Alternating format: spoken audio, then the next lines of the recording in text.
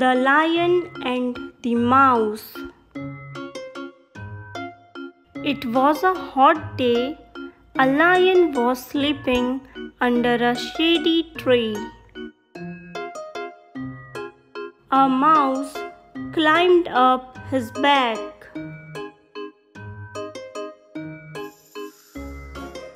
The lion caught the mouse.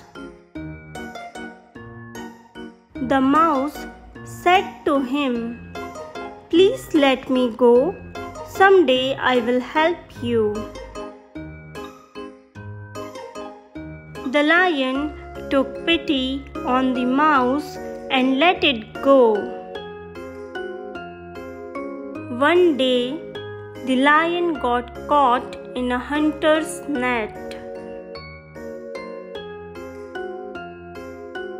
He roared again and again. The mouse came there and gnawed at the net. Soon the lion was free. Moral of the story A good deed never goes to waste. The kindness you show has a way of coming back to you in unexpected ways. Thank you.